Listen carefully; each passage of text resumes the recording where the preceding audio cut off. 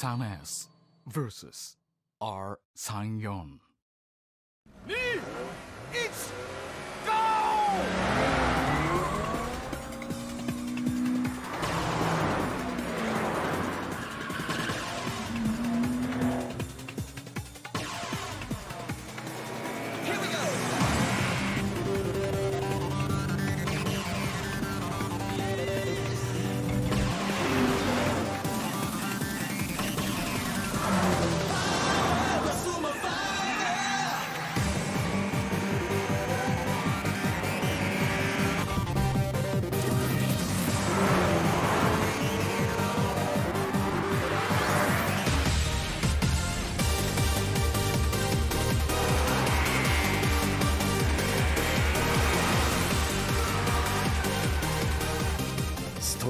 トレートの伸びがある。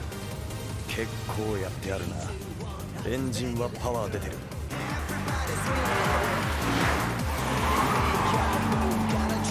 だが問題はそのパワーをどれだけ使えるかだろう。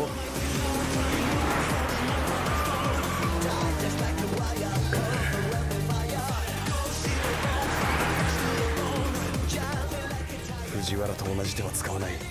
サーカスはあいつに任せておくぜ。俺は俺のやり方で行く。D のエースは俺だ。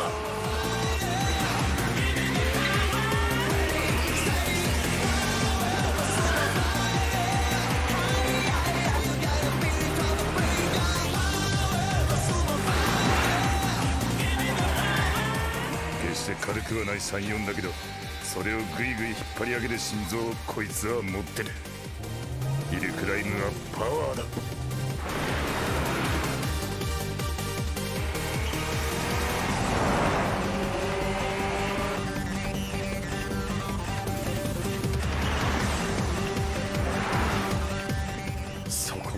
締めなくったってこんなところで行く気はねえ。同じ手は使わねえって決めてんだよ。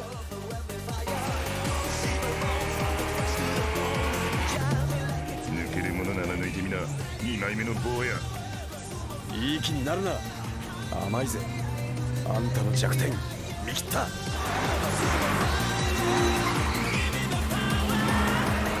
立ち上がりのパワーはこっちが勝っているストレートは俺の方が伸びる。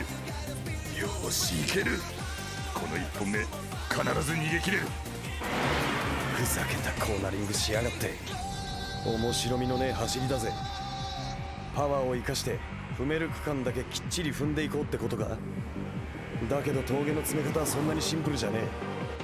俺に言わせりゃその走りは甘い。ストレートだけ踏むならバカでもできる。こっちだって伊達に理論派の兄貴にしごかれてきたわけじゃねえんだ。見せてやるぜ。高橋涼介直伝の本物の最速理論を。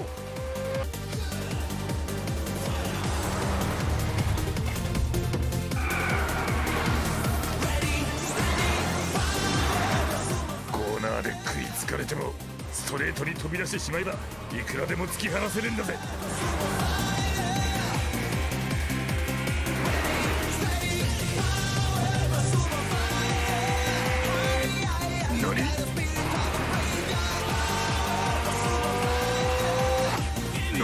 そりゃ言っただろアメって。ストレートのトップスピードの伸びは手前のコーナーの立ち上がり方で差がつくんだ。立ち上がり重視のコーナリングってやつだ。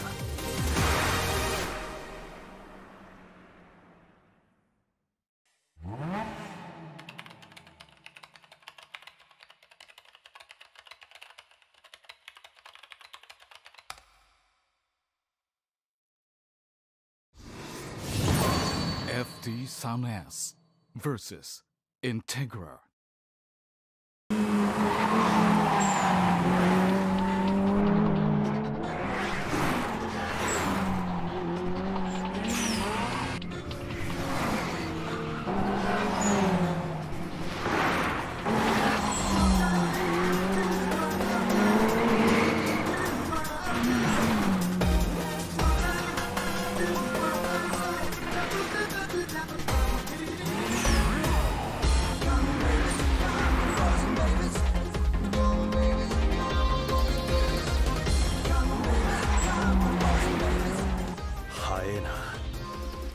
クでも上りでこんだけトラクション稼げるのか？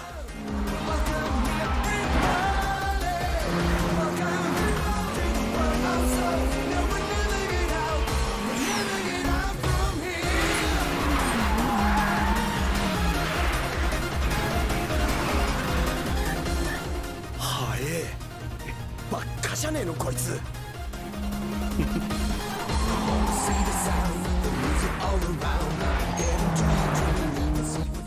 インテアルとターボの組み合わせは大正解だった。この車がもともと持っている抜群の運動能力に加えて上りをグイグイと引っ張るこのトルク。さあついてこいよ。俺の仕掛けたトラップはもう始まっているんだ。東道塾のいやらしさを見せてやる。大輝の敵は俺が取る。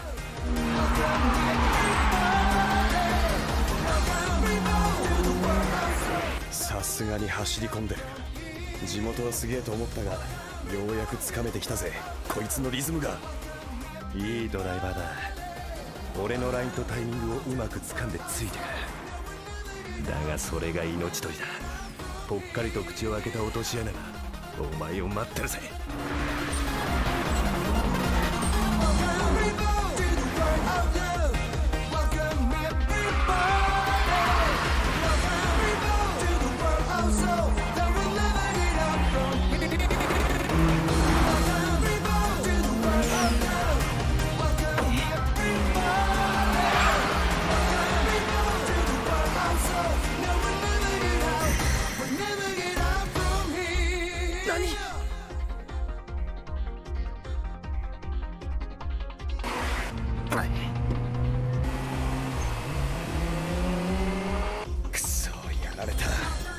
落ちたブースト圧がまた立ち上がるまでのタイムラグを利用しやがった。青いな。ブレーキランプのフェイントは東道塾では日常茶飯事なんだ。クリーンにスピードを競うだけがバトルじゃない。敵のリズムを狂わせるための駆け引きを駆使するのが東道塾のバトルだ。勝つためにはいろんなテクニックがあるってことを覚えておいた方がいいぜ。逃がさねえぞ。絶対追いつく。しまった。リズムに乗せられて突っ込まされた。行くな。そっちじゃない。戻れ。戻ってくれ。よっしゃ。抜けた。ななんだと。ブレーキングのフェイントでリズムを狂わせ焦らせておいての二段構えのトラップだったんだ。れを立て直すと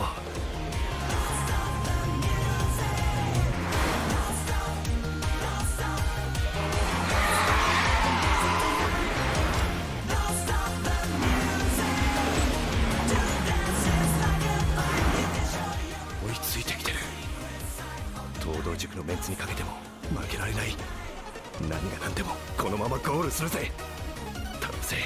B18C ターボ。